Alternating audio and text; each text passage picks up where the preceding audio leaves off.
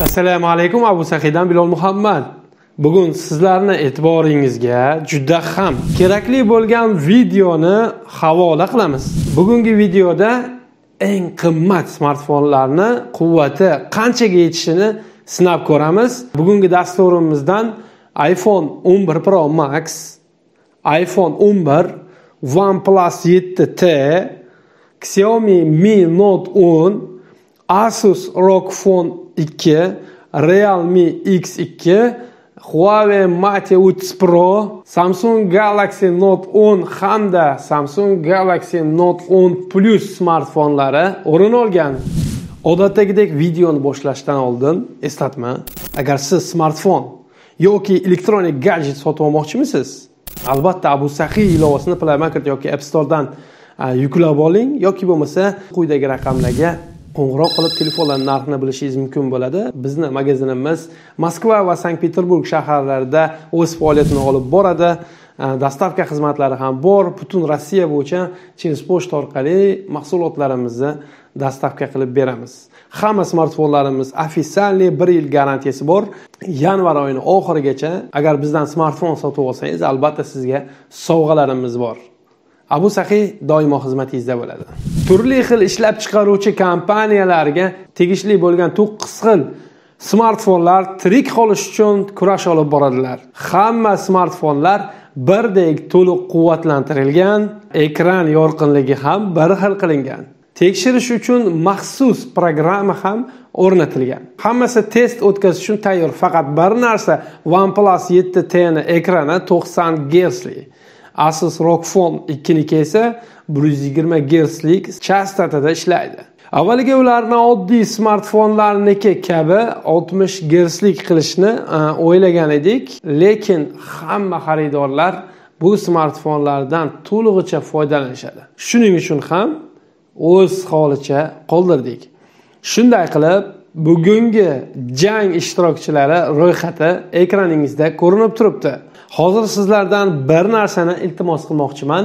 Iltimos videoni oxiriga o'tkazib kim g'olib bo'lganini bilib olmang. Bu qiziq bo'lmaydi. Qaysidir smartfonga muxlislik qilishga harakat qiling. Kommentariyada esa birinchi ikkinchi uchinchi o'rinni olishi mumkin bo'lgan smartfonlarni yozib qoldiring. Birinchi bosqichda oldi kamerada full hd sifatli videoni soniyasiga o'ttiz kadrli qilib o'ttiz daqiqa video olamiz. Nima sababdan bunday qildik? Nimaga shunchaki videoni qo'yib qaysi smartfonni birinchilardan bo'lib quvvati tugashini ko'rib qo'ya qolmadik? Negaki bunday qilinsa tabiiylikdan yiroq bo'ladi. Hech kim kun mobaynida e, video ko'rib o'tirmaydi. Kameralardan programmalardan foydalanadi. Testimizni birinchi bosqichi nihoyasiga yetdi va natijalarni yozib qo'yaman. Ikkinchi bosqichga o'tamiz. Antutu hamda 3d mark programmalari orqali smartfonni to'lig'icha ishga tushiramiz. Ushbu bosqichda turli xil usullarda smartfonlarni tekshirib ko'ramiz. Yadrolarini tejamkorlik quvvati video tezlatkichni sistemani ishlash darajasini displeyni quvvat sarflashi wi-fi modulini aktivlashtirish kabi narsalarni ham tekshirib chiqdik. Test natijalarini esa ekraningizda ko'rib turibsiz. Uchinchi bosqichda esa pabg o'yinini ochamiz va bir soat davomida o'ynaymiz. Bu test oxirida outsider kim bo'lishi ma'lum bo'lishga ulgurdi. Bu samsung galaxy note 10 smartfoni. Uni bor yo'g'i ellik sakkiz foizga zaryad qoldi xolos. Plyus versiyasi ham uncha ilgirab ketmadi. To'rtinchi bosqichda esa asosiy kameralar orqali yarim soat mobaynida full hd video olamiz. Odatda bunday tekshirish smartfonni bor quvvatini so'rib oladi. Shu narsani aytib o'tishim kerak. Samsung smartfonlari kutganidan ko'ra yomonroq natija ko'rsatmoqda. Bu testdan keyin galaxy note 10 ni 43 foiz quvvati qoldi xolos. iphone 11 pro maxni esa 73 foizi turibdi. Bu bosqichda bir soat mobaynida youtube'da video ko'ramiz. Men rokfon 2 g'alaba qozonsa kerak deb o'ylagandim. Negaki uni akkumulyatori 6000 machlik bu iPhone'nikidan bir yarim barobarga ko'proq degani. Bu testdan keyin asus iphonedan ko'ra bor yo'g'i bir foizga ortda bormoqda oltinchi bosqich juda qisqa bo'ladi. O'n besh daqiqa diktofonda ovoz yozamiz. Bu bosqichdan keyin natijalar unchalik o'zgarmadi. Yettinchi bosqich. Bu bosqichda bir soat mobaynida smartfon xotirasidagi kinoni ko'ramiz. Test natijalariga o'tamiz. Samsung galaxy note 10 ni bor yo'g'i yigirma olti foiz quvvati qoldi. iphone 11 pro maxda esa ellik to'qqiz foiz. Asus ROG Phone 2 bir foizgagina ortda bormoqda. iphone 11 ni esa film ko'rish jarayonida quvvati juda tez kamayib ketdi. Bunda iphone'ni ips paneli sabab bo'lsa kerak. Qolgan smartfonlarniki esa oddiy amaliyot. Oxirgi sakkizinchi bosqich. Bu bosqichda smartfon o'chib qolgunicha o'yin o'ynaymiz. Xabaringiz bor men rokfon 2 ga muxlislik qilmoqdaman. Negaki u iphonedan ko'ra ikki marta arzonroq. Bu bosqichda kutilganidek samsung galaxy note 10 taslim bo'ldi. U 6 soat u 30 daqiqa turib berdi. Navbatdagi o'chadigan smartfon galaxy note 10 plus bo'lishi kerak. Negaki ular deyarli bir xil natija ko'rsatib kelishayotgan edi. Lekin unday bo'lmadi. iphone 11 undan o'tib tushdi. Avvaliga unda kino ko'rilganida quvvati 13 foizga kamayganda 7 soat 24 daqiqa bo'lganida esa umuman o'chib qoldi.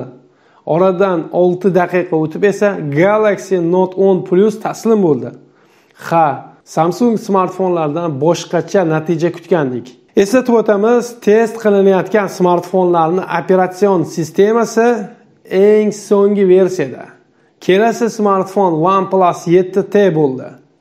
U yetti qirq olti daqiqa vaqtni ko'rsatdi.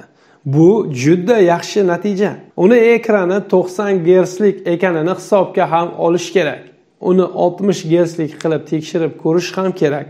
Qani o'shanda qanday natija ko'rsatar ekan? Keyin esa 8 soatu 2 daqiqa bo'lganida realme x2 taslim bo'ldi. Natijada bor yo'g'i to'rt dona smartfon kurash olib bora boshladi. Shu o'rinda bir narsaga e'tibor berib qoldim. iphone juda uzoq o'yinni izlar ekan. Qolgan smartfonlar o'yinga bir necha soniyalarda qo'shilayotgan bir paytda iphone 11 pro max 3-5 daqiqa izladi. Bir safar hatto 10 daqiqa ham kutdik. Bu menga juda ham shubhali tuyuldi. Nima sababdan unday ekanligiga to'xtalib o'tirmayman. To'rtinchi o'rinni huawei mate 30 pro egallab to'qqiz soatu yetti daqiqa natija ko'rsatdi. iphone'ga yana qaytamiz. U raundlar orasida qotib qolganligi uchun uzoq yashamoqda. Bu haqiqatga umuman to'g'ri kelmaydi. Meni nazarimda bu smartfondagi kamchilik emas bu pabg o'yinini ioslar uchun ishlangan versiyasi bilan bog'liq e, muammo bo'lsa kerak. Lekin shunday bo'lsa ham bu menga yoqmayapti. Bronza medalini xiaomi mi note 10 oldi. 9 soatu 28 soniya natija ko'rsatdi. Finalda esa asus ROG Phone 2 hamda iphone 11 prolar qoldi. Asus umuman qotmasdan bir tekis ishlagani uchun kim g'alaba qozonishini deyarli bilib bo'ldim. 9 soatu 55 daqiqa bo'lganida asus ham taslim bo'lishga majbur bo'ldi. Bu juda ham yaxshi ko'rsatkich. Unga qoyil qolmasdan ilojimiz yo'q. Esingizdan chiqqan bo'lsa yana bir bor eslatib o'taman. U butun testlar mobaynida bir yuz yigirma gerslik rejimda ishladi va deyarli o'n soat turib berdi. iphone 11 pro max esa o'n soat yigirma to'rt daqiqa bilan birinchi o'rinni egalladi. Ko'pchilik test haqqoniy bo'lmadi der lekin natijani o'zingiz ko'rib turibsiz. Ha iphone nohaqlik qilib bo'lsa ham birinchi o'rinni egalladi. Shuning uchun ham u iphone'da bugungi videomiz o'z nihoyasiga yetdi.